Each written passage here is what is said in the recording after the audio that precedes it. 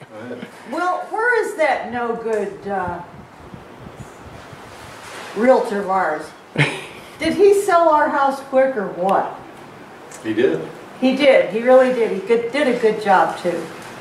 Well, the thing that I remember is we had tried to sell it ourselves and really hadn't had much luck. We had a number of people look at it, but we got the feeling that they were sort of bottom fishing. They weren't really serious about uh, a house in our price range. And then Stephen uh, introduced himself, seemed very, very professional, really seemed to know what he was doing, and we took him on, and as you say, he sold the house. Oh, yeah, did a great job. job.